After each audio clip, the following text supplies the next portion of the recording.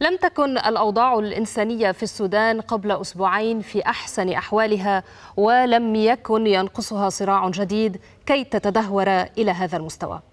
نحو 16 مليون سوداني باتوا في حاجة عاجلة إلى الدعم الإنساني بمختلف أشكاله بعد اندلاع الاشتباكات تقول الأمم المتحدة.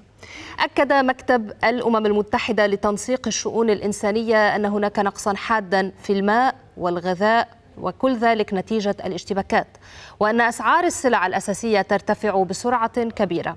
كما أشار المكتب الدولي أيضا إلى أن أسعار المياه المعبأة تضاعفت وأن السيولة أصبحت شحيحة ويصعب الوصول إليها.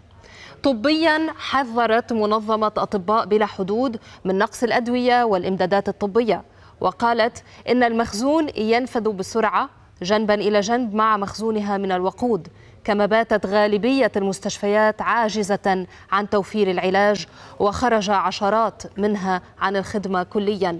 فيما تواجه تلك التي لا تزال عاملة تواجه انقطاعا في التيار الكهربائي ونقصا حادا في المستلزمات الطبية والوقود.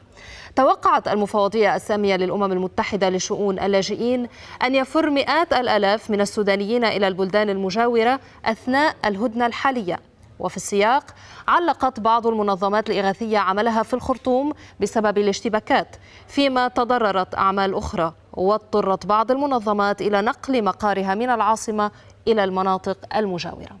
أمام هذا الواقع حذرت الأمم المتحدة من أن الصراع على السلطة في السودان يضع مستقبل البلاد في خطر وقد يسبب معاناة تستمر أعواما وانتكاسة للتنمية تستمر عقودا.